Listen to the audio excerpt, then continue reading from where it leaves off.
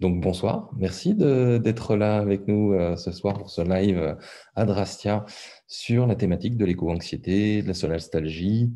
Et, euh, voilà, et je suis hyper heureux et enthousiaste à l'idée de, cette discussion. Et alors, peut-être pour commencer, je vais proposer que tu te présentes déjà pour, pour les personnes qui nous regardent. Et donc à toi la parole. Oui, alors bah, je suis euh, Charline je suis praticienne en psychothérapie. J'ai été formée en analyse psycho-organique. C'est une méthode de thérapie qui fait le lien entre toute la dimension euh, analyse et aussi avec le corps, donc toute la, toute la dimension des émotions. Et hum, donc au début, je recevais euh, tout type de problématiques et à partir de de, 2019, j'ai commencé vraiment à m'intéresser à la question de, de l'éco-anxiété, ce qui m'a amené à faire euh, une enquête fin 2019, euh, de manière à pouvoir un peu euh, mieux caractériser ce qu'on entend par l'éco-anxiété. Et suite à ça, adapter un peu ma pratique. Donc aujourd'hui, je reçois vraiment en individuel pas mal de personnes qui arrivent pour ce motif-là, donc l'éco-anxiété. Et j'ai développé en plus, enfin, j'ai ajouté un peu des briques à, ma formation initiale. Je suis allée regarder un peu euh, ce qui, touche à l'éco-psychologie. Et euh, je me suis formée aussi à une, à une méthode japonaise qui s'appelle le Shinrin Yuku, qui est traduit en français par euh, bain de forêt c'est beaucoup moins poétique. Et, ça, c'est vraiment une, une, méthode qui permet euh, aux, individus de prendre conscience qu'ils font partie de, de, l'écosystème à travers des, euh, des temps passés euh, dans, dans, la forêt ou dans la nature. Voilà. Et euh, alors la, question euh, que je t'avais pas demandé de préparer, donc euh, comment toi tu, comment tu, est-ce que tu as eu toi aussi un moment de, prise de conscience de, tout ça, de, ce qui est en train de se passer, du chemin que prend finalement notre société, notre monde vis-à-vis ben, de, la finitude finalement de ce monde et, de, peut-être de certains de ces, phénomènes et ces, de, nos, de nos sociétés, de choses comme ça? Comment, comment toi tu tu t'es retrouvé à, réfléchir à tout ça, à être confronté à ça? Alors, ça a été euh, quelque chose d'assez. Euh, j'ai vécu, euh, je dis un peu, un éveil écologique traumatogène. Moi, ça m'a vraiment frappé du jour au lendemain. C'est une personne de ma famille qui m'a parlé un peu de toutes ces problématiques-là. Et à partir du moment où c'était là, c'est plus jamais parti. Donc, j'ai eu toute une phase de remise en question. Euh, j'ai traversé aussi euh, ce que je constate parfois chez certains de mes patients, un, grand sentiment d'urgence, de qu'est-ce que je peux faire? Euh, et, ben, je me suis interrogée sur, enfin, sur la question du sens, en fait. De, j'ai dit, c'est, mon, travail, c'est de créer un espace pour l'autre et d'être disponible pour pouvoir écouter, soutenir, accueillir. Et pour moi, c'était une forme d'alignement que de me dire, euh, je vais intégrer cette dimension-là dans ma pratique. Parce que je me suis sentie euh, initialement un peu seule, moi, quand j'ai traversé ça. Et il n'y avait pas...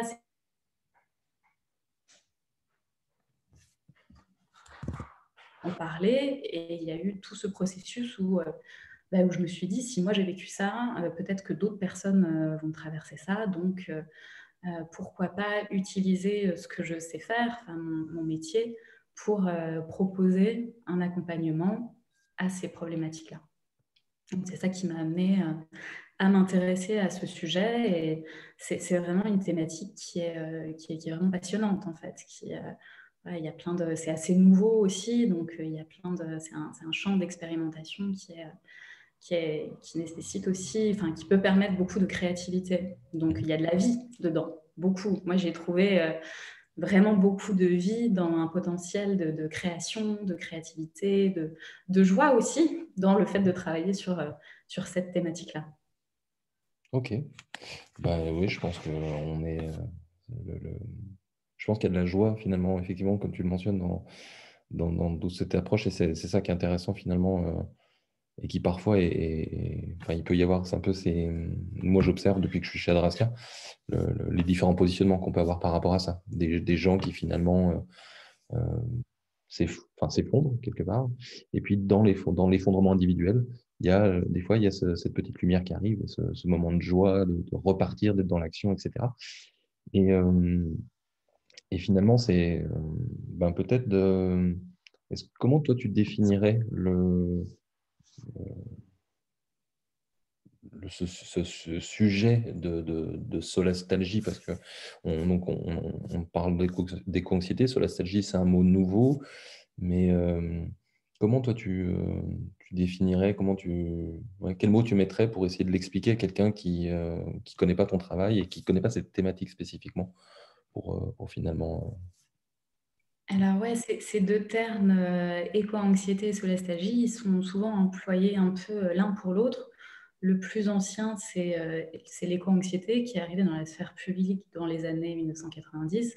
La solastalgie, c'est un peu plus récent. Euh, c'est Glenn Albrecht, qui était un professeur de, durabilité enfin de, à, l'université de Murdoch, qui l'a euh, de sustainability, je ne sais plus comment on traduit, traduit ça en, français, et qui a créé ce néologisme. Et la différence entre entre ces deux termes, moi, je la vois vraiment quand on se place euh, dans, la, dans la temporalité de l'expérience que vit le sujet.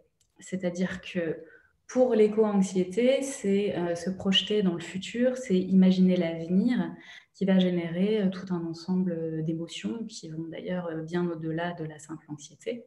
Et c'est une forme de détresse qu'on pourrait caractériser de prospective.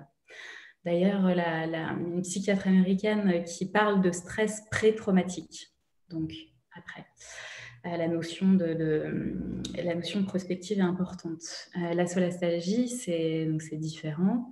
La solastalgie, c'est une détresse qui est rétrospective, c'est-à-dire qu'on constate la perte euh, ou la dégradation d'un environnement qui nous était familier et qu'on avait connu avant. Donc il y a une, comparaison entre ce qui était avant et ce qui est aujourd'hui. Euh, un exemple concret euh, de solastalgie, ça va être par exemple un patient qui va dire, ou peu importe, un patient ou autre, euh, qui va dire bah, Je suis allé faire mon habituel été dans telle région et j'ai constaté qu'il bah, n'y avait plus le ruisseau que j'ai toujours connu n'est plus là. Et ça amène à ressentir une forme de, nostalgie par rapport à un endroit dans lequel on est toujours. Donc c'est ça un peu la différence entre l'éco-anxiété et la solastalgie, c'est vraiment la temporalité euh, de l'expérience qu'on vit. Par contre, euh, il y, y, a des similitudes, c'est-à-dire que pour les deux, il y a tout un panel d'émotions. c'est on, ressent de, de, l'anxiété, oui, de la tristesse, de la colère, de l'impuissance, euh, tout un ensemble d'émotions, que ce soit la solastalgie ou l'éco-anxiété. Et il y a une similitude aussi dans, dans la manière dont on traverse, euh, ou plutôt dont on apprend à vivre avec euh, ces émotions. ce qui permet de, calmer, ou en tout cas d'aller mieux, c'est un retour à l'action. C'est un retour à l'action et aussi le fait de sentir qu'on fait euh, quelque chose qui a du sens ou qui va dans le bon sens, qui est utile par rapport à la manière dont on perçoit, euh, perçoit l'écosystème et sa dégradation. Ok. Est-ce que euh, tu rentres dans les mêmes catégories, aussi bien l'éco-anxiété et la solastalgie vont s'appliquer plutôt à, à des gens qui prennent conscience, par exemple, de la sixième extinction de masse ou des gens qui voient les choses de manière encore plus complexe et groupée, comme des gens de chez Adracia peut-être, qui vont en plus rajouter des aspects économiques, des aspects euh, énergétiques, etc., et qui finalement ont une vision d'un d'effondrement au pluriel de différents éléments et au final de nos sociétés euh, thermo-industrielles. Est-ce que une personne, enfin quelqu'un qui a peut-être une vision peut-être, euh, je veux dire, limitée à des aspects écologiques et quelqu'un qui a une vision plus complexe et plus holistique de l'ensemble des problématiques qui peuvent être euh, en jeu, ça va, ça va s'amener de la même façon, ça va se passer de la même façon, et ça va rentrer dans les mêmes cases en termes d'éco-anxiété et de, et de solastalgie? Alors moi, ce que je constate, c'est qu'il y a euh, différents, il y a un peu différentes portes d'entrée mmh pour, pour finalement ressentir ce genre, ce genre d'émotion. Ça peut être euh, des personnes qui sont euh, confrontées, euh, à, de par le, métier qu'elles font, à ces, mauvaises nouvelles, en tout cas à cet état assez dégradé du système Terre, ou alors des personnes qui vont être euh, qui, vont euh, d'un coup euh, prendre conscience à travers une lecture ou, une vidéo qu'elles peuvent voir. Mais ce que je perçois, c'est qu'il y a tout un phénomène de prise de conscience qui, qui est assez systémique quand même. C'est-à-dire qu'on prend conscience d'un problème et après on prend quand même conscience que tout est lié, en fait, que tout est interconnecté euh, et, là, ça peut être intéressant de regarder. Je sais que vous avez fait un article sur, euh, sur votre site, sur Adrastia, euh, sur l'échelle de conscience de Paul Chefurka, qui, qui, montre un peu ces différents, ces différents stades par lesquels on peut passer et qui amène aussi à ressentir différentes émotions. Parce qu'au début, on prend conscience d'un problème, puis après, on, on s'aperçoit que ces problèmes sont tous interconnectés et que euh, le problème est de plus en plus gros et on se sent de plus en plus impuissant. Donc euh, ça fait vraiment euh, tout, un processus émotionnel qui est en lien avec cette prise de conscience. Après, je pense néanmoins qu'il y a des personnes qui sont plus exposées que d'autres par rapport à, bah, par rapport au métier qu'elles font, par rapport à leur centre d'intérêt. C'est aussi des sensibilités qui font qu'on va être euh, ben, sensible à ce qui se passe euh, dans notre environnement, à la manière dont on regarde le monde. je pense que c'est plutôt aussi... Euh, moi, j'avais vraiment constaté ça, qu'il n'y a pas de... Ça ne respecte pas de, critères de genre ou de catégories socio-professionnelles. C'est vraiment une dimension aussi de comment est-ce qu'on vibre, soit par rapport à, par rapport à, par rapport à l'écosystème, en fait. C'est vraiment une notion de sensibilité. Et euh, par contre, euh, ce, qui est, certain, c'est que parfois, ça, ces, ces prises de conscience-là, qui arrivent, elles, peuvent, elles impactent les individus dans la manière dont ils sont constitués, dont ils sont structurés, et euh, ça peut venir euh, réaviver des, des, choses complexes, des, des, traumatismes.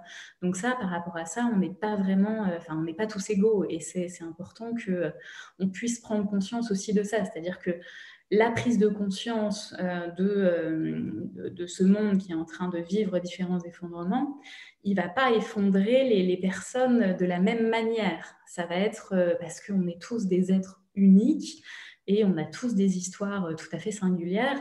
Donc il y a aussi euh, ça à prendre en considération.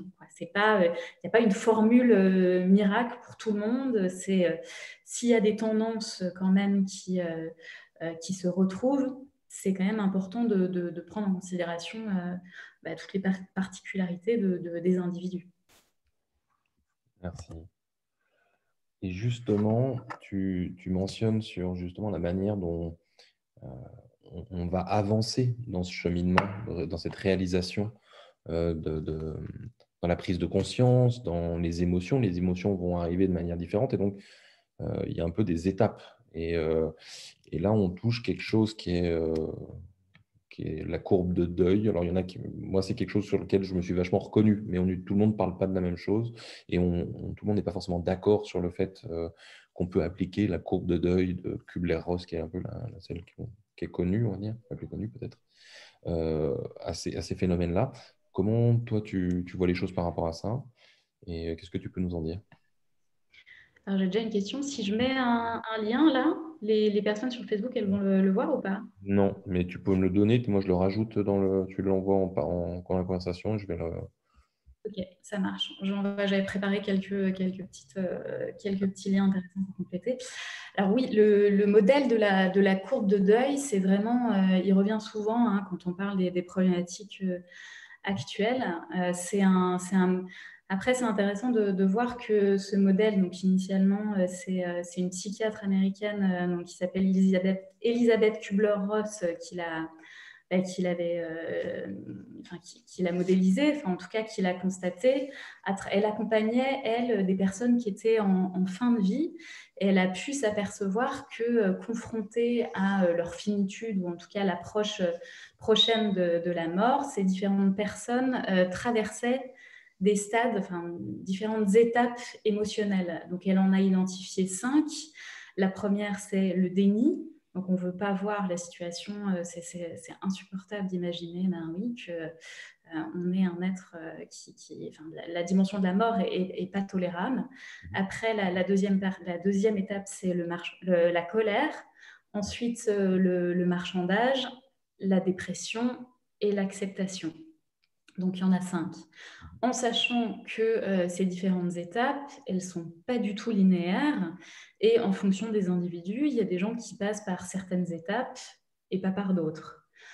Donc, euh, ce qui est commun euh, par rapport, à, par rapport à, ces problématiques d'éco-anxiété et de solastalgie, c'est que ça nous confronte vraiment à l'idée de, ben, de notre finitude, en fait. C'est, et c'est c'est par rapport à ça que ça me semble, que ça me semble pertinent. Euh, et, on constate que, enfin, moi je constate dans les personnes que, que j'accompagne qu'ils arrivent, euh, en fonction de la problématique qu'ils ont, à différentes étapes de cette courbe de deuil. Des gens qui arrivent dans, dans toute une problématique de beaucoup de colère, dans beaucoup de colère, un sentiment d'urgence, euh, ou alors il y a des personnes qui arrivent dans, dans un épuisement émotionnel, dans, dans beaucoup de tristesse.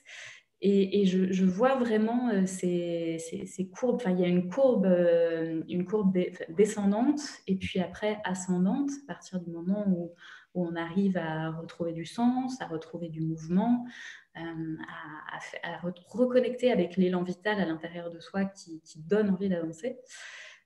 mais voilà, il y, a ces, il, y a ces, il y a ces deux phases en sachant que ben, ce qui est compliqué, c'est que le traumatisme qu'on vit aujourd'hui, il peut pas, on ne peut pas le mettre derrière. C'est-à-dire qu'on ne peut pas se dire, bon, bah voilà, crise environnementale, c'est bon, j'ai fait mon deuil, euh, c'est, je mets derrière, et puis, euh, et puis maintenant, je reste dans, dans la partie acceptation. Non. Euh, personne ne peut dépasser le traumatisme actuel. Donc, on va être amené à repasser par différentes phases. Donc, j'ai, voilà, souvenir d'une une patiente qui m'avait dit Mais euh, ah là là, je suis à nouveau en colère, je pensais que j'avais dépassé ce stade-là. C'est pas linéaire. Donc, euh, c'est Laure Noila qui parle dans son, dans son livre, euh, souvent, je, trouve ce, ce, terme assez intéressant de faire plusieurs cycles de machine à laver, en fait, où mmh. on, on repasse, on repasse, on repasse. Après, je pense que ce qu'il faut apprendre, c'est et ce que, ce que, je vois, c'est que les, les, gens parfois le vivent moins mal. C'est-à-dire que ben, on arrive à comprendre des choses à partir du moment où euh, euh, on trouve des outils pour soi, des moyens de se sécuriser. Certes, on est toujours impacté, on peut repasser par ces différentes phases, mmh. mais euh, il y a quand même enfin, une solidité, une sécurité qui peut se, qui peut se trouver. Après, et, j'avais lu dans, dans l'ouvrage là de, de Manon Comaret et de Pierrot Pantel une, question, enfin non, une, réflexion de Vincent Mignereau par rapport à, la difficulté d'anticiper de, euh, le deuil euh, bah, de, cette civilisation. C'est-à-dire qu'on se dit, bon, bah, ok, on fait le deuil, ça veut dire quoi? Le monde, il n'est il est pas mort, en fait, faire le deuil.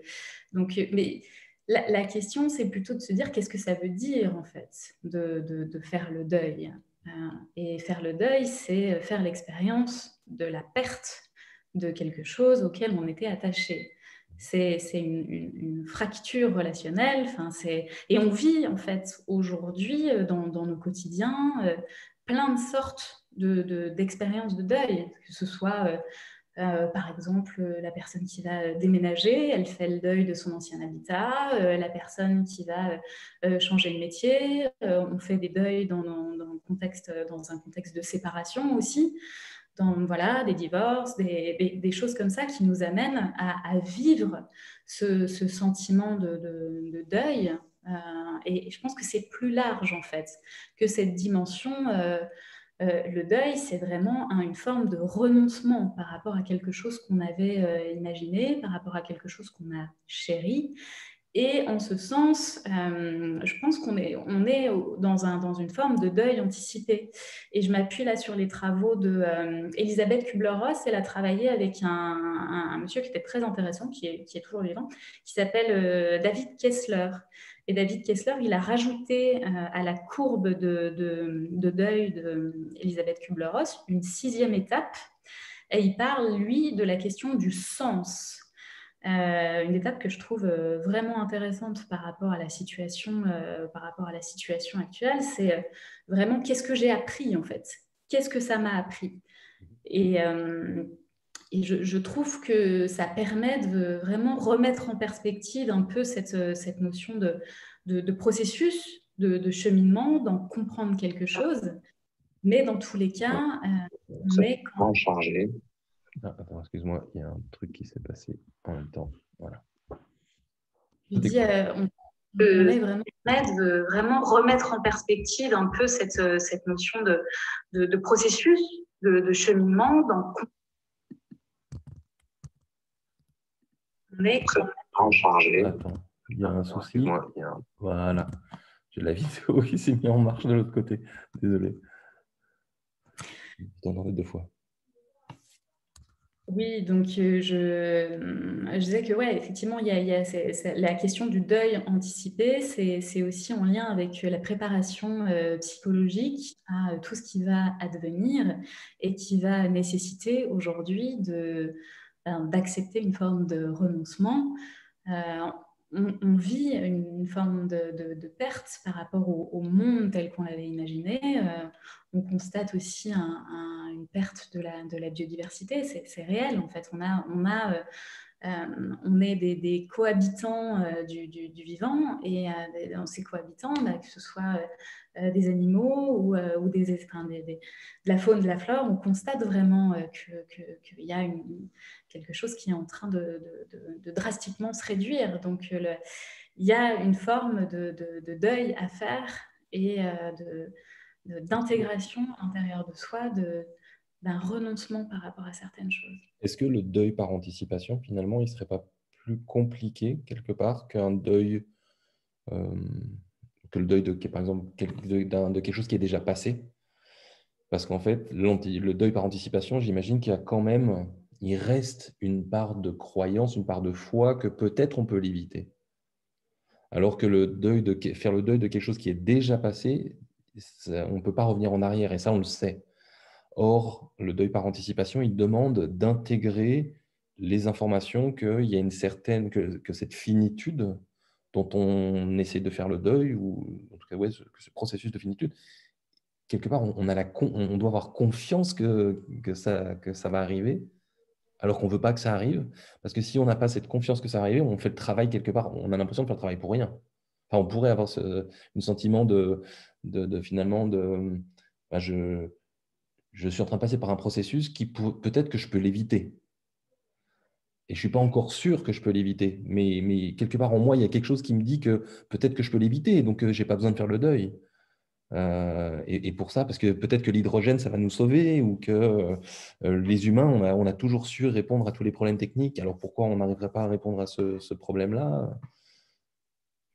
Oui, la grande capacité d'adaptation de, l'humain. Mmh Le deuil par anticipation, effectivement, euh, c'est une chose assez complexe parce qu'il y a aussi tout, tout ce que ça vient mettre en, mouvement par rapport à, à ce qu'on imagine. Mmh euh, et parfois, on est dans une anticipation de, ben, de quelque chose qui peut aussi euh, être extrêmement anxiogène parce qu'on n'arrive pas à se représenter euh, ce qui pourrait advenir. Et ça peut générer un, sentiment d'anxiété extrêmement important avec des scénarios à la, Mad Max, d'autant plus que qu'aujourd'hui, il y a alors, je ne suis pas du tout contre le fait de faire des, séries qui sensibilisent euh, aux, problématiques des, d'effondrement, et je pense que c'est très bien de pouvoir en parler, mais par contre, ça vient mettre des images, ça vient rendre concret un peu des projections qu'on pouvait se faire euh, à l'intérieur de soi, et ça, ça fait qu'on peut avoir tendance à coller un peu à ces, à ces récits, et, euh, et ça, ça peut être ça peut générer une forme de stress qui, donc je reviens à la, notion de, la psychiatre Lise Van Susteren, de stress pré-traumatique. Et euh, j'ai même envie de dire, finalement, le, deuil par anticipation, il demande, enfin, il crée un vide. Et, ce, que, tu mentionnes, c'est le fait que bah, finalement, on ne sait pas vers, enfin, on sait pas ce, à quoi ça va aller, qu'est-ce qui va arriver à la place. Donc on doit anticiper la perte Et en même temps, vivre dans l'incertitude de ce qui va euh, arriver, de, ce qui va venir combler ce vide, puisque finalement, on n'a aucun élément, ou en tout cas les éléments qu'on nous donne sont quand même assez euh, finalement peu concrets. Il y a des éléments, parce que quand on parle de futur, bah, effectivement, comme tu dis, l'imagination peut partir dans tous les sens. On a du Mad Max d'un côté, on a de la science-fiction totalement euh, voilà, post-apocalyptique de l'autre, qui est très très large à ce niveau-là. Hein. La littérature est très très nourri. Euh, donc finalement, il y, a, deux aspects, je pense même. Hein. On, a, on doit apprendre à perdre et en même temps euh, faire confiance qu'il va se passer un truc, mais on ne sait pas trop. Donc on vit un peu dans cette peur de, qu'est-ce qui va arriver à la place. Quoi. À la place de mes vacances aux Seychelles, à la place de ma carrière euh, dans le marketing. et puis, toutes ces choses-là que je vais devoir abandonner pour aller me consacrer peut-être à gratter la terre ou à vivre dans une hutte au fond des bois, je ne sais pas.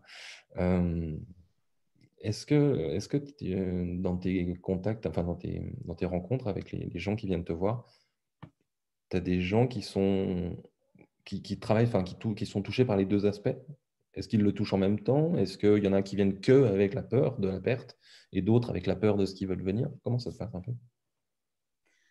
En fait, ce que je constate, c'est que euh, par rapport à ce que, tu mentionnes de, de l'imaginaire et c'est que, l'humain euh, ne supporte pas de ne pas savoir. Et euh, la question de, de, l'incertitude, euh, c'est vraiment insupportable. Donc, on peut avoir des tendances à coller à certains récits, même s'ils sont absolument apocalyptiques, parce que ça donne une réponse, parce que ça vient apaiser le, le sentiment insupportable en intérieur de soi de se dire ben, en fait euh, je sais pas euh, je suis en train de naviguer mais euh, je sais pas je sais pas ce qui va arriver et, et c'est c'est une, manière de, de, coller enfin quand on colle à, des récits assez, assez catastrophiques ou peu importe enfin, c'est une forme de réponse qui permet d'apaiser vraiment l'angoisse mmh. donc après moi,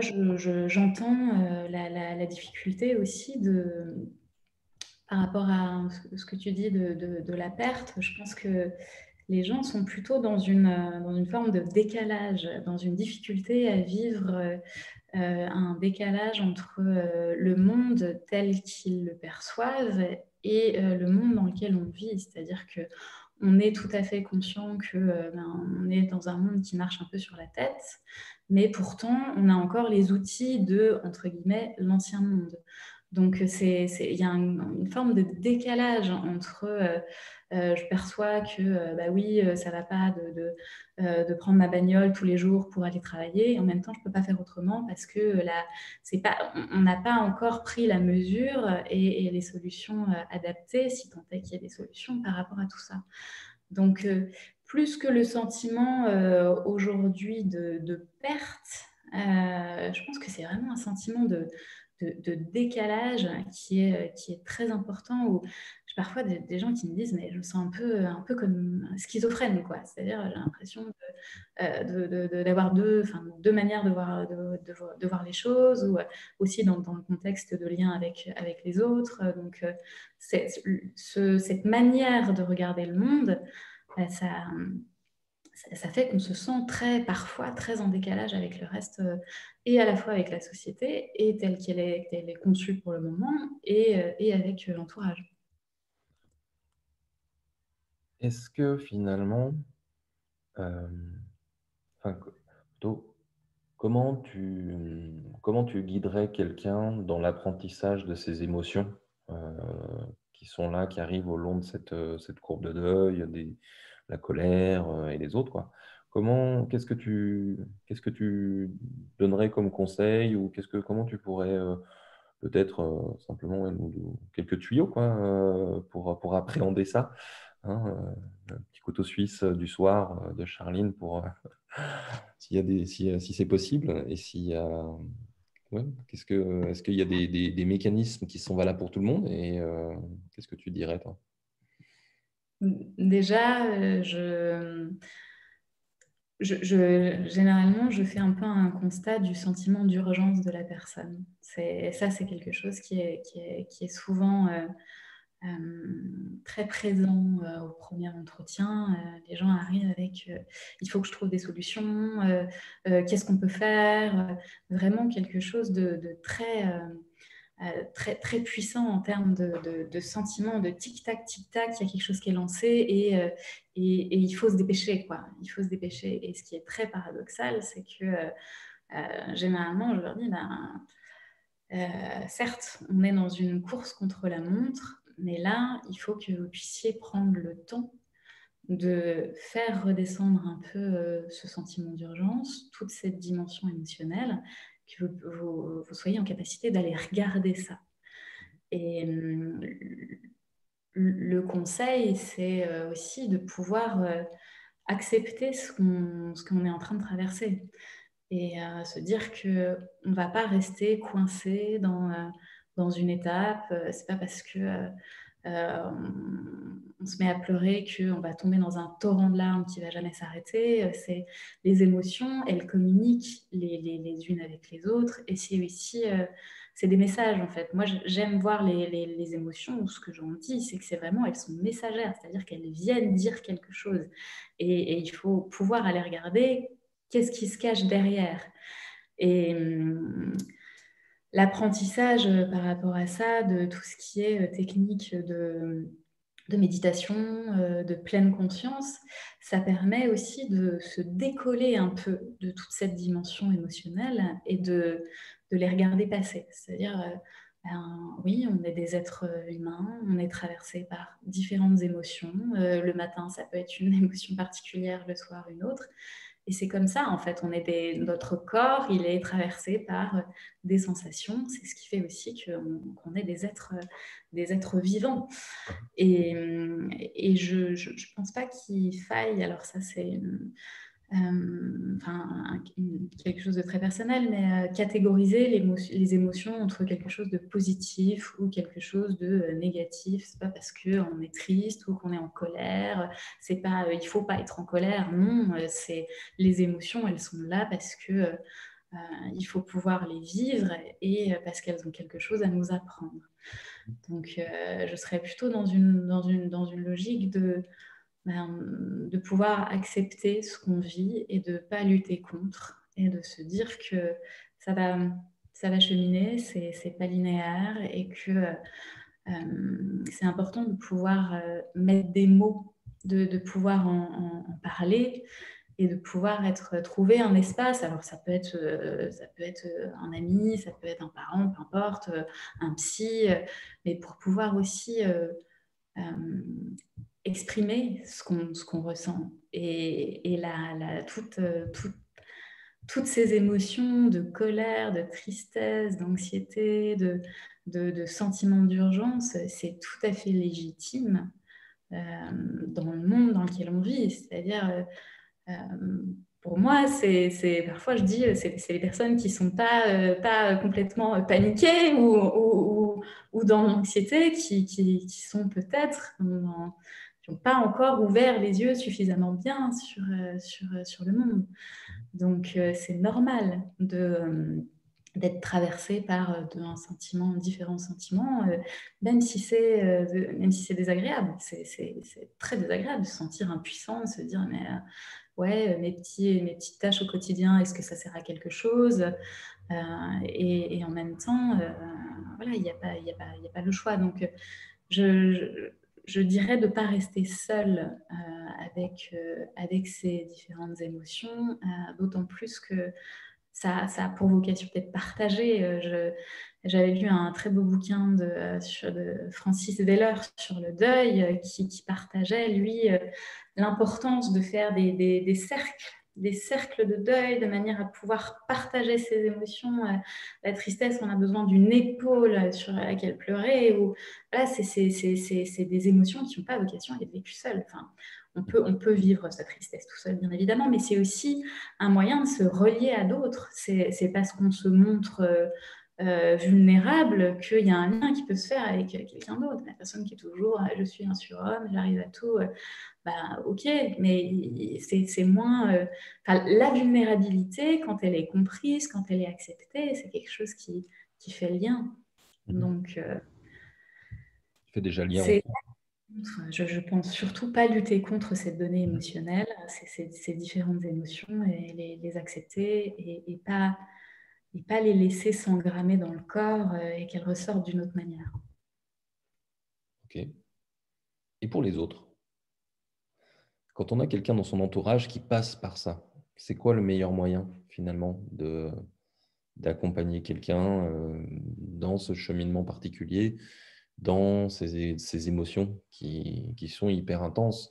Alors, des fois, on les a vécues soi-même et des fois, euh, peut-être qu'il y a des gens qui nous regardent ce soir et qui ne sont pas du tout au fait euh, de, toutes ces thématiques. Et, euh, enfin, je me dis, comment, si on, qu'on soit, qu'on, est, qu'on soit passé à travers ou pas, comment on accompagne quelqu'un qui, passe à travers ça? Qu'est-ce que, tu, qu'est-ce que tu pourrais dire Qu'est-ce que tu pourrais donner comme, comme conseil pour accueillir les des autres je, dirais de, légitimer ce que la personne vit et de reconnaître euh, la souffrance.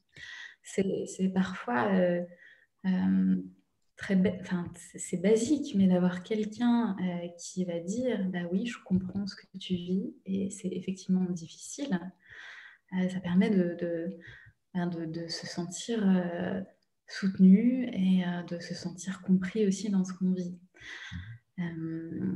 Euh, je, ne dirais pas euh, qu'il faut chercher à convaincre ou à essayer de, donner euh, des, pistes. En tout cas, chacun, chacun vit ses, émotions et cette, prise de conscience d'une manière, d'une manière différente. Donc, ça, touche aussi à la question de de quelles sont les limites aussi de chacun. Et euh, je pense qu'il faut aussi euh, faire attention à euh, quand on sent la personne dans trop de tristesse, dans un débordement émotionnel, dans... là, bah, c'est important de pouvoir lui dire d'aller d'aller se faire accompagner ou de pouvoir, quand c'est trop en fait, quand il y a, quand il y a vraiment ce débordement émotionnel où la personne n'arrive plus à se, à se raccrocher à des choses positives ou euh, et il y a beaucoup de, moi je constate euh, beaucoup de personnes qui sont dans, une forme d'épuisement en fait, dans une forme de, parfois les militants très dans, les problématiques de burn-out où on sent plus ses limites et puis et, là c'est important de pouvoir dire attention, euh, attention, faut pouvoir se mettre un cadre, il faut pouvoir ralentir, il faut pouvoir être dans le moment présent. Euh, ça aussi, c'est quelque chose de, rassurant aussi, je pense, d'entendre que, quoi qu'on fasse, euh, de toute façon, il faut être humble et qu'on ne peut pas maîtriser euh, toute, toute, la situation, on ne peut pas soit se charger de, transformer la planète, donc de, permettre à la personne de, retrouver un peu, de redescendre euh, par rapport à tout ce qu'elle se met sur le dos, à tout ce qu'elle est en train de vivre, de, changer un peu son, prisme, son regard, et euh, de manière à faire qu'elle puisse euh, se sentir un, peu soulagée par rapport à tout, ce poids qu'on peut sentir sur ses épaules parfois.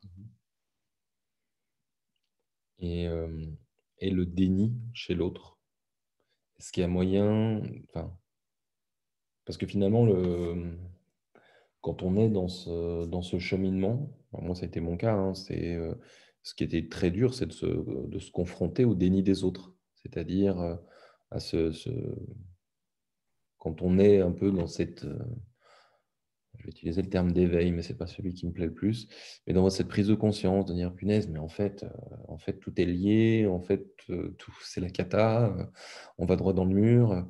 Mais si, mais écoute-moi, mais bien sûr, mais écoute, j'ai. T'as, as écouté Jean Covici et, et, comment justement. Enfin, j'ai peut-être. je pense que j'ai, quelque part, j'ai déjà la réponse, mais euh, le, déni de, le déni des autres, il, est, euh, il peut être hyper frustrant, quoi. il peut être hyper violent même, je pense, euh, pour certains quand, quand, on est, quand on est dans cette prise de conscience. Qu'est-ce que comment qu'est-ce, que tu as pu observer, toi, chez les gens qui sont venus te voir? Il y a une, tendance à les problématiques de d'éco-anxiété, sur nostalgie, en tout cas. Moi, je, trouve assez pertinent la notion d'éveil, enfin, éveil écologique. elle, ça met à mal les liens, la dynamique des liens avec les autres. Parce que souvent, quand on est dans, ce, dans cette prise de conscience, on a besoin de le partager. Mmh. Et surtout, on ne comprend pas pourquoi euh, les autres ne sont pas dans, à partir du moment où on commence à communiquer des informations, pourquoi ça ne prend pas mhm. euh, C'est-à-dire, euh, bon, bah, qu'est-ce qui se passe? Je te donne ces infos, qu'est-ce que tu en fais? Mais on n'est pas, enfin, on est des êtres complètement différents et la temporalité de chacun est différente. C'est-à-dire que toi, ta manière d'assimiler certaines informations, elle va être différente de la mienne. Donc, malheureusement, face au déni, on peut. Euh, je, pense que chercher à convaincre, ça ça, fonctionne pas parce que euh, l'autre, il est dans sa, dans sa manière de, de, voir les choses et que le déni, c'est un mécanisme de protection. On ne choisit pas comme ça d'être euh, super dans le déni. C'est parce que la réalité, elle est tellement insupportable qu'on fait comme si elle n'existe pas on fait comme si, bon, bah oui, euh, c'est comme l'exemple par excellence, c'est Trump qui dit oui, bah, la Terre va se réchauffer. Euh, bah, voilà, ça n'existe pas. Donc, euh, et, et, et, convaincre, ou en tout cas essayer de, de, de communiquer des informations qu'on n'a pas encore soi-même digérées, ça peut être vraiment contre-productif. parce qu'on va transmettre à l'autre, son sentiment d'angoisse, de, son, son, stress, sa colère. Donc, euh, la, première étape, c'est de déjà euh, composter ses émotions à soi, en fait. C'est ce que dit euh, Michel Maximéga. Il, il, parle de composter ses émotions. Et, et je trouve que c'est assez pertinent parce que ça permet d'en faire quelque chose d'autre après et de pouvoir transmettre aux autres d'une autre manière. Mais le, fait de chercher absolument euh, à convaincre, euh, généralement, ça fait l'effet inverse. Quoi. Et on voit euh, des liens qui, se, qui, qui, peuvent se rompre et, une, et on ne se sent pas compris. Donc, moi, j'entendais des gens qui me disaient bah oui, j'attends le moment avec mes amis où on va, on va parler des vraies choses. Quoi. On va parler des vraies choses. Il y, y, a vraiment ce sentiment de on n'arrive plus à se rejoindre. Et ça crée vraiment un grand décalage, une grande distance. Et il y a une forme de réapprentissage pour moi du lien à l'autre, euh, qui passe par euh, l'acceptation euh, que bah, il a un cheminement différent de moi et que il est, il, est, il est, différent, il y a une forme de diversité qui est aussi riche et que je ne peux pas contrôler. Donc, il y a tout un processus, euh, soit de, lâcher prise et de transmettre cette information d'une autre manière. Et alors, ce qui peut, euh, euh, être, tout à fait pertinent, c'est d'essayer de, partager ce qu'on vit soi et de, de, montrer ce qui a du sens pour soi manière à essayer d'embarquer les autres, mais euh, pas à faire euh, lever, de bouclier, euh, ouais, ça va être l'effondrement et tu veux, voilà, ça va être comme ci, comme ça, la personne à qui on dit ça, ben non, non, c'est insupportable, c'est pas possible. Donc c'est y aller petit à petit et, et, et, intégrer à l'intérieur de soi cette notion de lâcher prise, quoi. Mmh Je peux pas je ne peux pas transformer l'autre, je ne peux pas lui faire intégrer euh, des données qu'il n'est pas prêt à entendre et je peux distiller un peu des choses, enfin, essayer de transmettre, mais lui fera son, son, son, son chemin en fonction de sa temporalité mhm. à lui. Et aussi quelque chose qui, est, euh, qui fait le lien avec ce que je disais tout à l'heure par rapport à la notion de, de, traumatisme, c'est que euh, euh, cette, euh, les gens qui prennent conscience d'un coup de, de, de, de, la catastrophe potentielle qu'on peut vivre, on ne sait jamais euh, ce qu'ils ce ont vécu avant. Donc, essayer de, dire à l'autre, attends, il faut que tu vois ci, il faut que tu vois ça. S'il a vécu, ça, ça, peut faire écho à d'autres effondrements précédents. Mmh Donc attention, attention à ça. Il y a des gens qui peuvent euh, complètement s'effondrer parce qu'ils euh, ne sont pas encore capables d'entendre ces réalités. Mmh. Donc, c'est transmettre des informations, oui, mais en étant euh, conscient de ce que ça peut produire chez l'autre. Vraiment. Donc, choisir bien ce qu'on dit Et pour moi, la première étape, c'est vraiment de, de, pouvoir digérer pour soi ce qu'on ce qu'on ressent. Mmh. Après, la, la, la complexité, c'est qu'on a besoin de, on a besoin de pouvoir partager ça, on a besoin de pouvoir en parler, d'où l'importance parfois de pouvoir rejoindre certains réseaux avec des personnes qui vont euh, avoir les mêmes centres d'intérêt, ou en tout cas euh, avoir le même regard sur le monde, de manière à pouvoir parler d'autre chose que d'essayer de convaincre que ça va être tel ou tel scénario, parce que les personnes sont déjà embarquées dans le même récit. Donc ça, ça peut permettre de, euh, bah, de, de, tisser aussi d'autres formes de liens et, et se réinterroger sur... sur qu'est-ce qui a fait que par rapport à telle ou telle personne, à un moment, on a eu envie d'être en lien et de, réinterroger l'essence. Ça, souvent, souvent, je conseille à mes patients de faire ça, de, de, de se, de se remettre en, enfin, de remettre dans, dans, le champ de pensée euh, ce qui, ce qui a fait qu'ils ont été amis avec telle ou telle personne. Euh, qu'est-ce qui faisait qu'ils avaient envie de passer du temps initialement euh, avec cette personne, même si elle ne pensait pas la même chose. Mmh. Donc, voilà, réinterroger la qualité initiale du lien. Mmh. Et euh, peut-être pour revenir sur une des sur la courbe de taille, mais un autre endroit, par rapport à la, au fait de chercher du. Enfin, tu disais, c'est, je ne me rappelle plus le nom du, de la personne qui travaille avec Elisabeth Kubler-Ross, mais qui parlait, qui parlait de, trouver du sens. et en fait, la question que j'avais, c'était comment on fait pour chercher du sens quand on est au fond du trou? C'est-à-dire quand on est vraiment plombé hein, par, tout ça. Euh, parce que moi, personnellement, j'ai des gens autour de moi avec qui j'ai eu, eu, cette discussion euh, et qui étaient vraiment euh, achevés. Ils se sentaient mais, démunis complètement parce que ça remettait tellement de choses en question dans leur vie qu'ils avaient, ils, ne voyaient pas comment retrouver du sens, comment remettre du sens dans leur vie à ce niveau-là, à ce moment-là. Quoi. Alors, ça va être un peu. Euh, je pense qu'il faut accepter de rester au fond du trou. Euh, enfin, il ne faut pas faire l'impasse sur ça. C'est-à-dire, euh, il, y a forcément quelque chose d'autre après. Et c'est en lien avec ce que, je, disais tout à l'heure, des émotions qui, communiquent. Mais on ne va pas rester dans un puits du désespoir à vitam aeternam. Il y aura des mains tendues pour, pour, se sortir de ça. Et, euh, mais on a euh, parfois besoin d'aller euh, voir le noir et d'être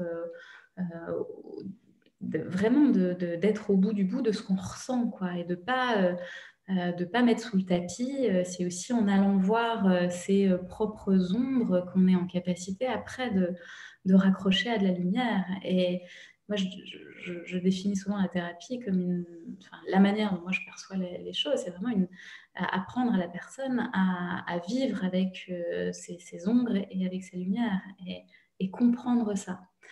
Et, donc, aller au fond du trou, oui, et comprendre pourquoi on y est et qu'est-ce que ça dit, et regarder euh, vraiment cette situation à travers le prisme de, euh, ok, c'est désagréable, mais qu'est-ce que ça peut m'apprendre? Qu'est-ce que je peux en comprendre? Et par rapport à ça, qu'est-ce que je peux transformer? Comment aussi ça peut me permettre de, bah, de demander de l'aide et d'être en lien euh, avec d'autres. Euh, et on a besoin de liens. Euh, et, c'est ce que la, crise du Covid met vraiment en lumière, c'est qu'on est tous un peu déconnectés les uns des autres et c'est extrêmement difficile à vivre. Ça intensifie les processus de séparation qu'on vit déjà dans, la manière dont notre société fonctionne. Donc, euh, aller au fond du trou pour pouvoir aussi demander de, demander de l'aide et faire du lien, c'est important. Après, tu mentionnes quelque chose de, qui fait vraiment lien avec euh, la, crise actuelle, c'est la question du sens.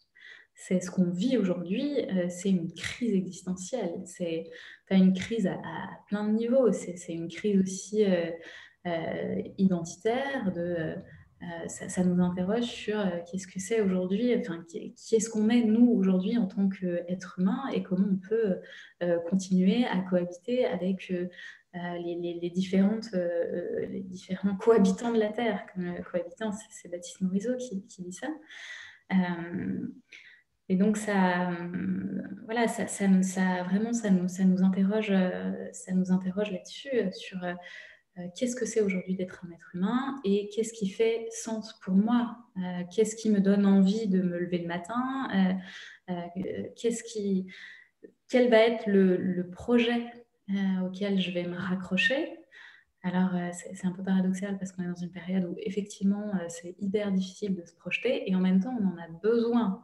On a besoin de faire des projets euh, quand même à, alors on peut réduire l'échelle, c'est-à-dire se dire je fais des projets à, courte, échéance, euh, mais de manière à sentir qu'il y a quelque chose qui, nous raccroche à notre élan vital, à, ce que, à l'énergie primaire qui est à l'intérieur de soi, et qui va faire que euh, ben, on va pouvoir se remettre en mouvement et se raccrocher à quelque chose qui dans lequel on va se sentir euh, utile.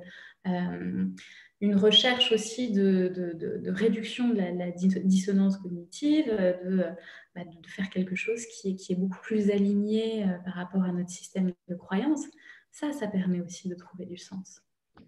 Mais il y, a une, question sur, sur le, le, post du live là, qui, de quelqu'un qui disait Mais est-ce qu'on n'a pas cette, est-ce que le problème, ce ne serait pas cette obligation euh, un petit peu occidentale de trouver du sens? Qu'on a C'est-à-dire qu'il a y a une sorte de, ouais, mécanisme, enfin pas de mécanisme, mais de, règles dans notre société qu'il faut trouver du sens à notre vie. Certains le disent en tout cas. Euh, est-ce que ça, c'est pas aussi, et que le simple fait d'accepter la vie et, de vivre simplement n'est pas aussi une solution? Si, c'est quelque chose qui. Alors, euh, cette notion de, crise existentielle, on la, vit euh, euh, plus ou moins intensément, mais le, effectivement, le fait de pouvoir aussi prendre conscience de notre place en tant qu'humain dans cette, cet environnement, c'est pouvoir accéder à la notion du plus grand que soi, mmh. d'accepter traversé par la vie en soi et de se dire que ouais, on fait un passage là et que ne euh, on maîtrise pas grand chose. Et ça, ça permet de, d'intégrer à l'intérieur de soi beaucoup plus de lâcher prise, une notion vraiment euh, euh, qui, ouais, qui, qui, apaise, se dire mais en fait finalement est-ce que la, la, la, si, on, si, on, cherche, enfin on cherche en permanence un sens parce que c'est un grand mystère que de, se dire qu'on est euh, jeté sur cette terre pour faire quoi? Et ça, donne euh, une motivation pour se lever le matin que de se dire ben, je, fais quelque chose qui, pour moi a du sens. Mais, oui, je suis tout à fait d'accord avec cette recherche effrénée de sens. C'est, c'est aussi un moyen de ne pas aller regarder ce que ça nous fait vivre, de se dire ben, voilà, on fait juste un passage et, euh, peut-être qu'il n'y a juste pas forcément de sens à trouver dans, cette existence-là. Et justement, quand, quand on cherche le sens, quand on... Finalement, il y a, un peu aussi ce, besoin d'entrer dans l'action. Il y a un peu ce moment d'agir, enfin, il y a une sorte d'urgence d'agir. Hein. Tu en parlais au début, tu disais, euh, c'est important de constater l'urgence euh, et ce moment où, quand on a, cette prise de conscience, on se dit, ah mince, il faut faire quelque chose. Et euh, c'est, comment, on, comment on peut faciliter la mise en action, la mise en mouvement d'une personne qui, est là, qui est dans son réflexion, ou, ou, pour soi, quand on est dans cette prise de conscience, c'est quoi Qu'est-ce que tu Qu'est-ce que tu dirais à quelqu'un qui, qui, est là, qui est dans ce, besoin d'action? Alors c'est euh, vraiment un, moyen de traverser euh, ce ressenti d'éco-anxiété, hein, que de, retrouver un, chemin vers l'action, que de se mettre en mouvement. Euh, il y, a cette notion vraiment de, mouvement dans la, dans la, dimension étymologique de, des émotions ex movere, c'est ça, hein, c'est le mouvement, donc il y a quelque chose de très salvateur dans, euh, bah, dans l'action. Après, je pense qu'il faut penser son action aussi avant de la mettre en place et de ne pas être dans la, dans la réaction. Et c'est parfois ce que je constate, moi, dans ce sentiment d'urgence. Ce n'est pas une, une action qui est vraiment pensée, c'est une action qui, est, euh, qui agit, en fait, qui, qui, qui prend le pas sur la réflexion. Donc, euh, euh, agir, c'est salvateur et c'est ce qui permet de, bah, se sentir un, un, minimum utile ou de, sentir que bah, il y a quelque chose qui se passe aussi, de pouvoir euh, œuvrer à quelque chose qui pour nous euh, a du sens. Mais euh, c'est déjà important de pouvoir mettre de, la pensée sur cette action-là et de ne pas se lancer non plus à corps perdu dans l'action. Parce que ça, c'est vraiment je parlais parfois de, tout à l'heure de, la posture de, de burn-out ou de, certains militants où, où, il y a beaucoup, beaucoup d'actions. Euh, c'est un moyen de ne pas aller regarder euh, aussi ce qui se passe à l'intérieur. C'est euh, je me mets en mouvement, je fais beaucoup de choses et puis comme ça, je ne prends pas le temps de regarder ce que ça dit dedans. J'agis à l'extérieur, mais voilà, c'est un équilibre, euh, je pense que c'est un équilibre à trouver entre euh, là où, on dirige son énergie et, euh, comment on le vit, enfin vraiment, qu'est-ce qu'on ressent à l'intérieur. Donc trouver la, bonne forme d'action de quelque chose qui, qui est aussi un minimum mesuré, de ne pas être dans... Dans, dans, la réaction, se dire ok non mais ça va être, ça va être ça va être la cata, donc euh, je, vide mes comptes bancaires, je suis dans, quelque chose de très impulsif. Ça, c'est, ça peut être parfois euh, euh, assez, assez désagréable pour les, pour les personnes qui, constatent après les, actions qu'elles ont pu faire. Je vois que le temps passe. On a déjà parlé, on a déjà parlé une heure et je voudrais aborder un dernier sujet avant peut-être de prendre encore quelques questions. C'est l'enfance parce que c'est, je t'en avais parlé sur le, blog euh, de Sismic de Julien. Euh, euh, et, c'est quelque chose aussi qui me tient énormément à cœur. moi, je suis papa, ma fille a 4 ans, et, donc on commence à aborder aussi ces, questions. Une, sensibilité écologique déjà bien affirmée. comment quand dans le, Julien t'a posé la question aussi, parce qu'il est un peu dans, dans le même questionnement comment finalement on développe la résilience d'un enfant? Alors, la, notion de. peut-être déjà, ce qui peut être intéressant, c'est de, définir euh, ce, concept de, résilience. Mhm. C'est quoi? euh, la résilience C'est initialement euh, dans, c'est la capacité d'un matériau à résister à un choc, à un impact. Et dans, c'est la, résilience, c'est un concept qui a été développé en psychologie par euh, Boris Cyrulnik et qui pourrait être euh, défini comme la, capacité de l'individu à dépasser un traumatisme et à, et à faire, euh, faire plus ou moins une force de ce qu'il a pu, de ce qu'il a pu vivre à travers tout un processus d'intégration. Alors, comment on, comment on accompagne euh, aujourd'hui les enfants euh, par rapport au monde dans lequel, euh, dans, lequel, dans lequel on est? Je pense que la, la, la, chose la plus importante déjà, c'est de, de, réfléchir à, quelle est la vision du monde qu'on peut, leur, qu'on peut leur permettre de, de développer. Et il y a, il y a tout un autre rapport au, au vivant à, changer. on, est, on est dans un monde où on est dans beaucoup de, dans une attitude très consommatrice, euh, dans euh, utilisation de la nature euh, comme si c'était une ressource à notre service. Donc, c'est de pouvoir embarquer les enfants dans, dans une autre carte du monde, de, de, pouvoir leur euh, je pense, leur transmettre ça. Et euh, il y, a énormément de... Il y a des études euh, assez catastrophiques aujourd'hui qui montrent que les, enfants... c'est une étude qui, qui, disait que il y avait des enfants qui étaient capables de de, reconnaître mille logos de marque, mais qui étaient incapables de, d'identifier plus de 10, feuilles de, de, végétaux qui étaient proches de chez eux. Donc, aider ces enfants à pouvoir appréhender le monde, c'est les mettre au contact de, de, ce vivant et le, les, leur apprendre le lien, euh, les réintégrer dans, dans, en tant que cohabitants euh, de, de, ce vivant et transmettre euh, d'autres valeurs que celles qui sont aujourd'hui beaucoup communiquées, de, quelque chose d'être beaucoup dans le faire, dans la productivité. c'est apprendre aux enfants à prendre le temps et à être, euh, enfin souvent je dis ça moi, être dans l'être. On ne sait pas faire ça.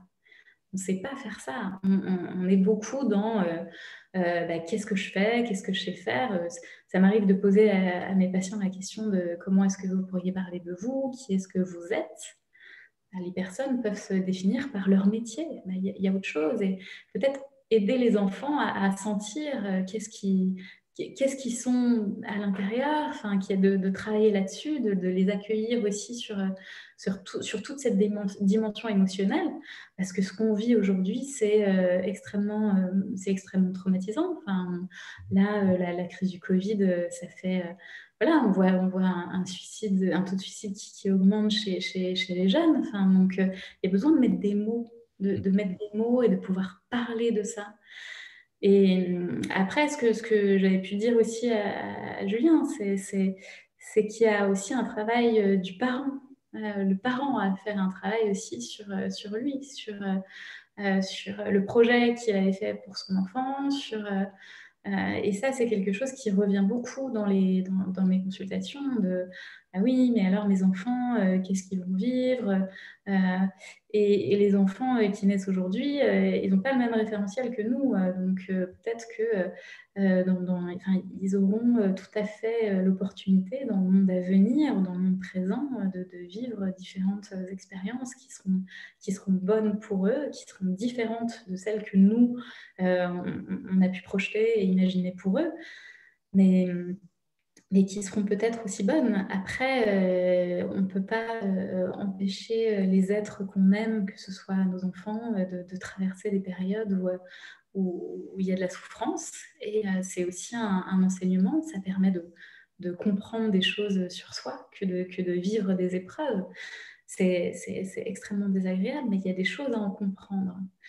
Et hum, on vit une période qui euh, amène énormément d'incertitudes, beaucoup d'insécurité. Donc, euh, une piste de travail aussi pour les parents, c'est de travailler sur cette sécurité intérieure pour leurs enfants.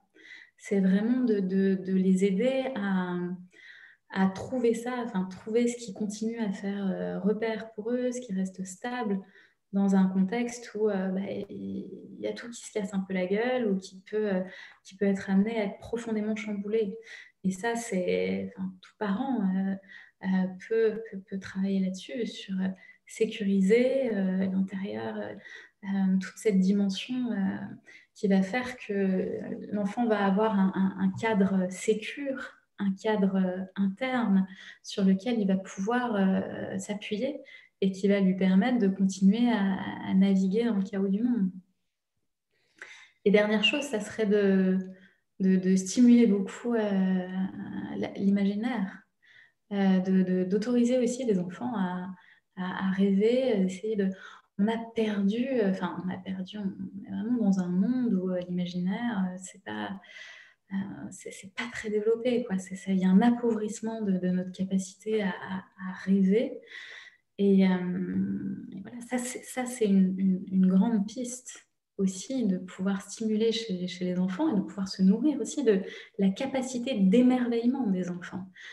Parce que ça, c'est quelque chose que, que, possèdent euh, vraiment les enfants, cette capacité de regarder le monde et de trouver que euh, rien peut faire, peut faire joie. Et, et, le parent devrait aussi pouvoir puiser un peu là-dedans.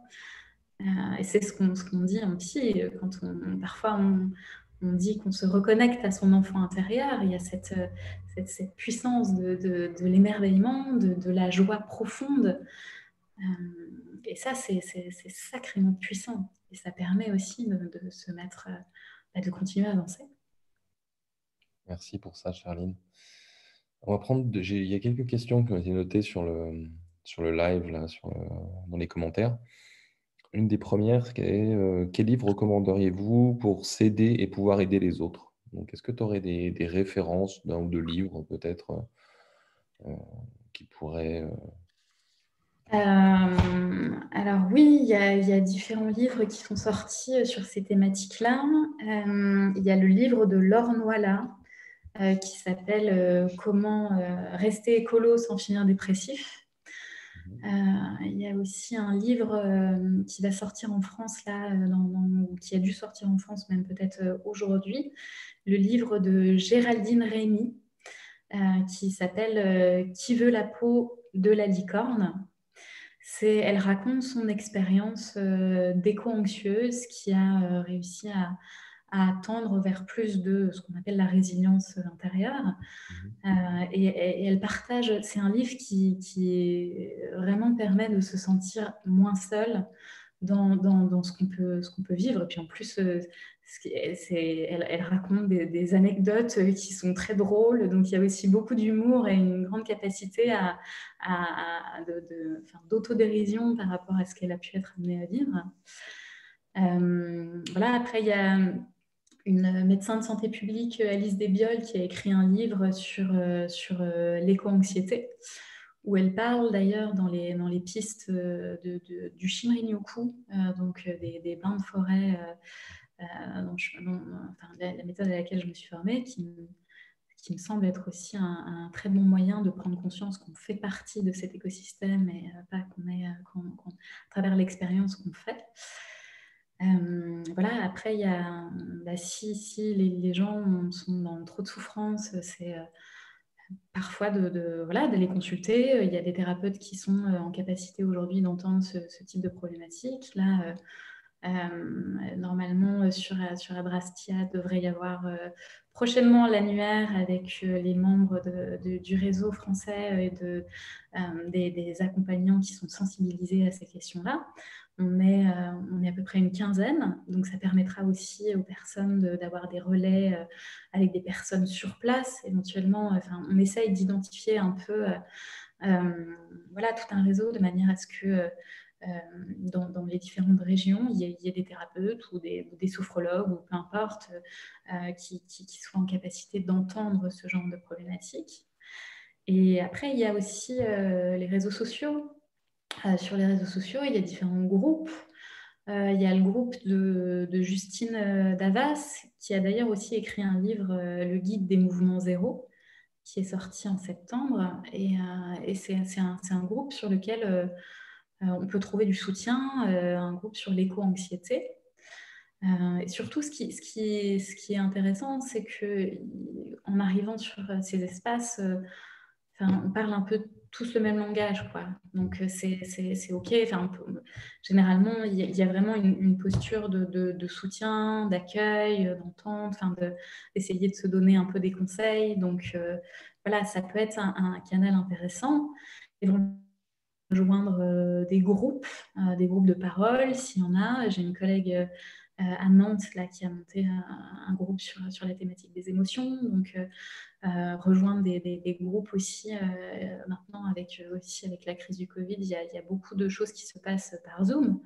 Mhm. Euh, donc c'est possible de rejoindre des, groupes pour pouvoir un peu parler de ça, participer à, des, du travail qui relie, un atelier de travail qui relie.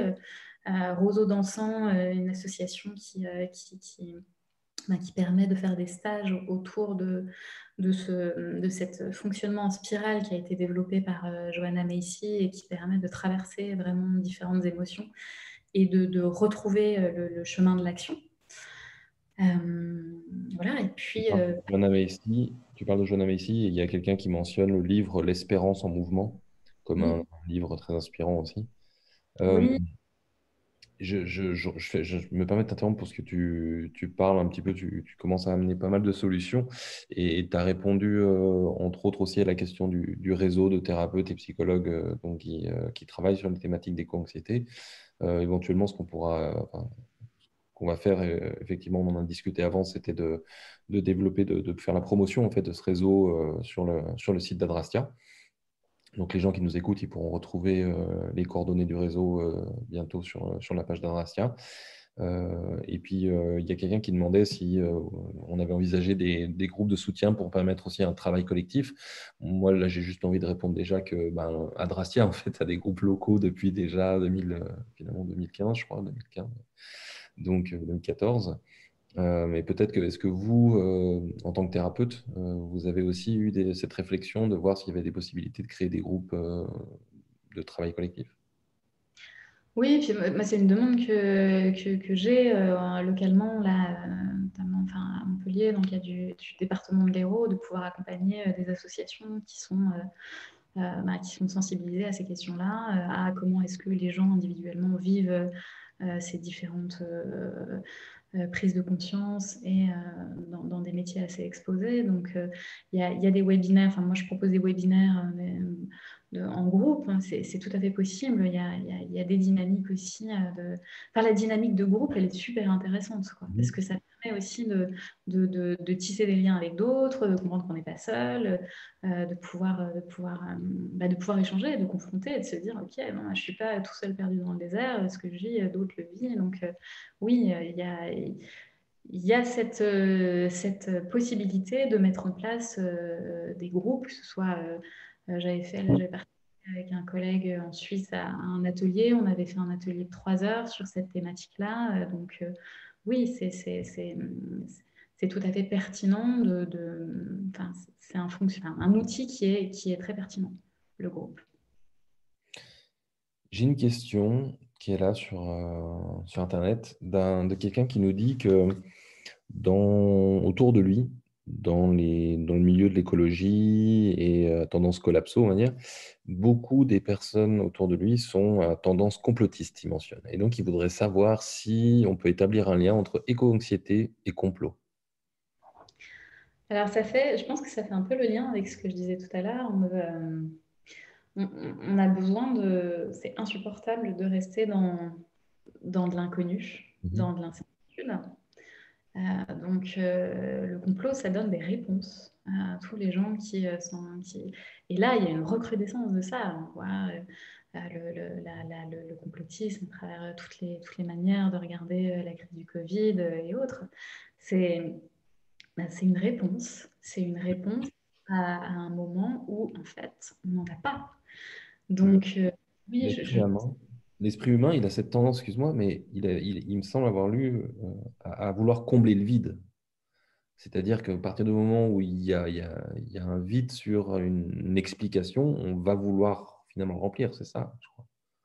Oui, c'est exactement ça. et on ne supporte pas euh, enfin, la notion de vide, euh, ce que tu dis. On, est dans une société qu'on peut qualifier de, de, de borderline, d'état limite. C'est une société qui a développé. Enfin, euh, en psychopathologie beaucoup, d'addictions. On, remplit euh, beaucoup de choses parce qu'on ne supporte pas d'aller regarder euh, qu'est-ce que ça peut faire à l'intérieur de soi, le sentiment de vide. D'où les addictions à plein de choses, aux écrans, parce que ça vient remplir, en fait, ça vient remplir. Et, et l'humain n'aime pas ça, n'aime pas l'incertitude, le vide. On a besoin, d'où le besoin de faire des projets, de pouvoir imaginer euh, ce qu'on va faire euh, dans, les semaines. Dans les... Et c'est là tout l'apprentissage de cette, de cette crise, enfin, si on peut se dire, il y a des choses positives à trouver dans, dans la crise actuelle, c'est bah, qu'est-ce que ça nous apprend dans notre, dans notre manière de gérer l'incertitude? euh, c'est apprendre à, pouvoir lâcher prise et intégrer cette donnée-là, qu'on ne maîtrise pas les choses, on ne maîtrise pas, et euh, il faut apprendre à naviguer avec, euh, avec l'incertitude. C'est Joanna Macy qui, qui, dit ça, et je trouve que la, la, mhm. phrase est très, très parlante, naviguer dans l'incertitude. Merci Charline. Je, je, regarde en, en, parallèle les questions, je vois qu'il n'y a pas d'autres questions pour l'instant. Est-ce que tu aurais envie de partager une dernière chose peut-être ou est-ce que...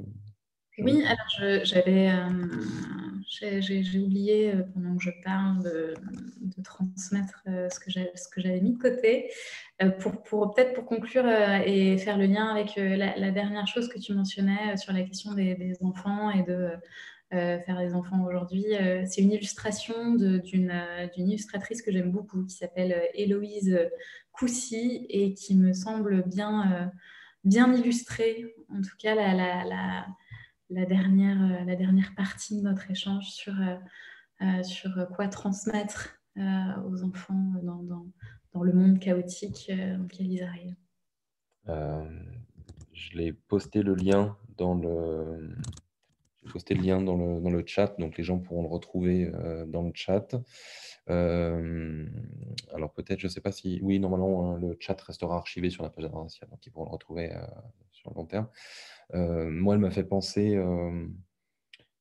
J'ai envie de te partager deux trucs. C'est tout à l'heure, tu as eu ce commentaire sur le fait de demander de l'aide et, en fait, il y a ce livre dont j'ai plus le nom de l'auteur. C'est une BD en fait d'un Britannique, d'un Anglais qui, plutôt qui, qui fait cette BD, un dessin à la plume qui est magnifique et d'un enfant et d'un cheval. Et, et l'enfant lui dit, demande au cheval, mais c'est quoi la chose la plus dure que tu as fait dans la vie? Et le cheval lui répond, c'est de demander de l'aide. Euh, et, je trouve que c'est vraiment, euh, c'est vraiment quelque chose d'important d'arriver à, demander de l'aide, euh, particulièrement, je serais presque envie de dire particulièrement pour nous les hommes qui sommes dans un peut-être poussés à un modèle de virilité où demander de l'aide est peut-être parfois perdu comme, perçu comme, une, comme quelque chose de, qui, démontre notre incapacité à, gérer, etc. Euh, mais c'est c'est finalement valable aussi pour, pour les femmes, et notamment, je pense, dans le milieu professionnel, par exemple. Bref, c'est une diversion, euh, digression.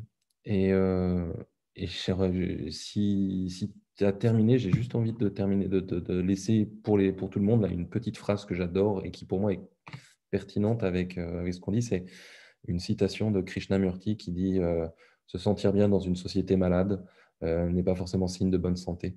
Euh, et, je la trouve hyper pertinente dans, sur cette thématique. Je pense que c'est une très bonne conclusion. Charline, je te remercie énormément pour, euh, le temps que tu nous as offert ce soir.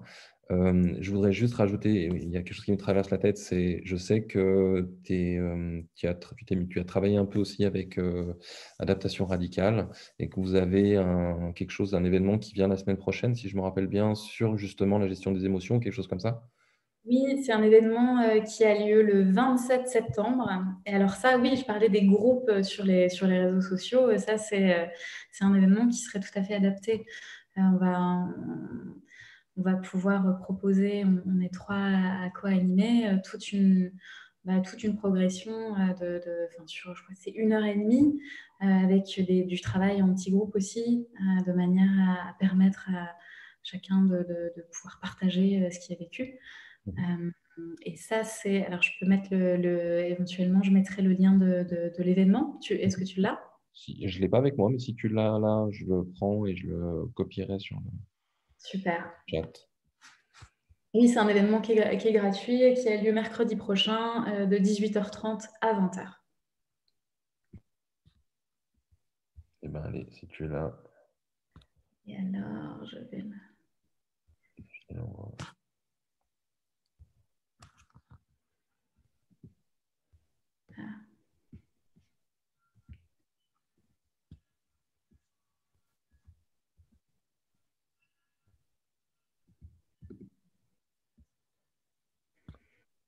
Rajouterai.